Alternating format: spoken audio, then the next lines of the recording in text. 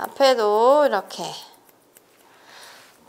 지금 이 아이가 조금 털이 짧아가지고 이렇게 확확 눈에 띄게 뭐 이렇게 달라 다르게 이렇게 미용이 그 변화가 미용 변화가 확확 다르진 않은데 그래도 어떻게 자르는지는 보이니까 이거를 한번 염두해주고 한번 보세요.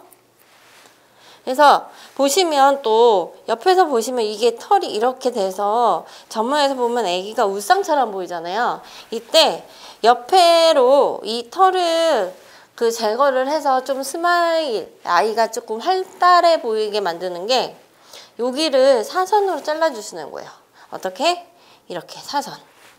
그러면 가위가 어떻게 들어가야 되겠어요? 코를 중심으로 해서 사선으로 들어가야 되겠죠. 이렇게. 그래서 사선으로 사선으로 사선으로 사선으로 사선으로 사선으로. 그리고 반대편도 마찬가지.